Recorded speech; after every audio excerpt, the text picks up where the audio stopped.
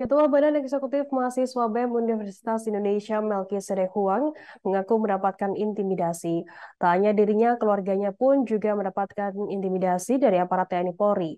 Ia menduga intimidasi itu datang lantaran Melki mengkritisi putusan Mahkamah Konstitusi soal batasan usia capres-cawapres yang menjadi jalan bagi putra Presiden Joko Widodo Gibran Raka Raka maju di Pilpres 2024. Sejak awal menjalani kepengurusan BEM UI di 2023 dan aktif mengkritik pemerintah, Melki mengaku sudah mendapatkan teror-teror digital.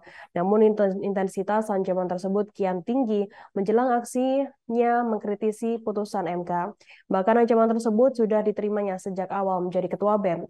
Namun menjelang aksi putusan MK, teror tersebut semakin banyak. Ia kerap kali ditelepon dari ke pihak keamanan.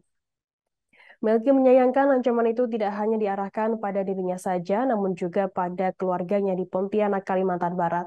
Bahkan ibunya didatangi oleh aparat TNI Polri untuk bertanya langsung seputar keseharian sang putra. Tak hanya dari keluarganya, Melki juga mengaku menerima kabar dari gurunya di SMA Negeri 1 Pontianak bahwa ada orang yang bertanya mengenai kebiasaan Ketua BMUI 2023 ini ketika bersekolah.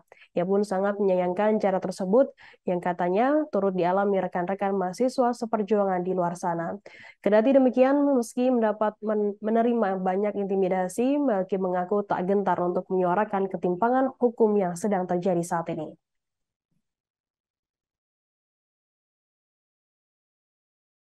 Download Tribun X sekarang. Menghadirkan lokal menjadi Indonesia.